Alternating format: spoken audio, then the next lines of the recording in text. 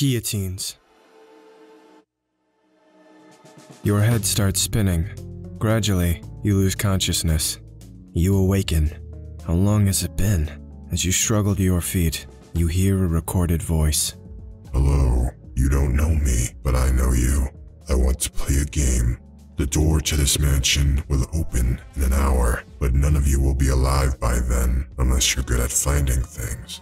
You will note that you each have a steel collar attached to your neck. This collar contains a blade held in place by a powerful spring. Whenever a timer attached to one of these devices goes off, the wearer will end up considerably shorter.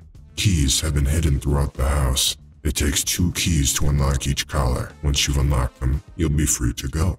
Of course, some keys may be in rather inaccessible locations. Let the game begin. What the traitor hears. All the other people in this house were witnesses to your mother's traffic accident. Her car caught fire, but they were too afraid to drag out her unconscious body before the fuel tank exploded. Now, you have a chance for revenge. Your collar doesn't work, but the others don't know that. Will they have the courage to help you the way they didn't help her? Right now, place pentagonal item tokens representing keys in the following rooms, now or when they are discovered attic, catacombs, chasm, collapsed room, crypt, furnace room, gallery, junk room, operating laboratory, pentagram chamber, tower, and vault. Take red monster tokens numbered from 1 up to the number of players. Mix the tokens up and deal one face down to each player with the number hidden. The explorer with the red token numbered 1 is the traitor. Take pentagonal item tokens numbered from 1 up to the number of players. Players keep these tokens face up with the number showing. Set up the turn damage track with a plastic clip at 0 if there are 4 or fewer players, or at 1 if there are 5 or 6 players. You'll use this to keep track of time. What you know about the bad guys. This haunt uses the hidden traitor rules described on page 17 of the rulebook. You all read this booklet, but one of you is a traitor. Someone has locked you in a collar with a ticking timer, which is likely to decapitate you soon. As if that's not bad enough, one of your companions thinks you'd be better off headless. Traitor. The traitor must reveal him or herself if that explorer would be killed by a collar. Before then, he or she can collect keys and even trade them to other players to gain their trust. You win when the heroes win when all the collars are removed and at least half of the heroes, rounded up, are still alive. If more than half of the heroes are killed, the traitor wins. A collar is removed when it is unlocked or detonates.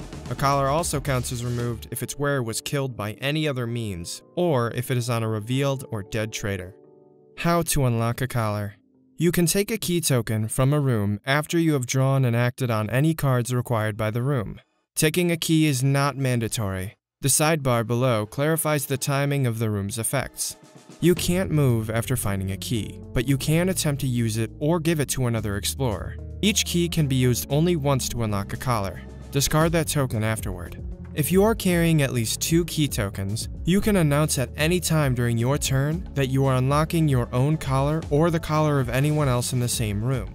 Remember though, that an explorer can't be traded a key and use it to unlock his or her collar in the same turn. Keys can't be used to unlock the collar of a decapitated explorer. Please refer to the sidebar on this page for specific room effects as you encounter them. You must do this. At the end of each of the Haunt Revealer's turns, advance the turn damage track by 1. Then, every explorer with an item token whose number is equal to or less than the current turn must roll 3 dice. If the result is less than the current turn number, that explorer is immediately killed. Example, in a 4-player game, if Professor Longfellow and Zoe Ingstrom have the item tokens numbered 1 and 2, then after 2 turns, both their players have to roll 3 dice. On a result of 0 or 1, that explorer dies.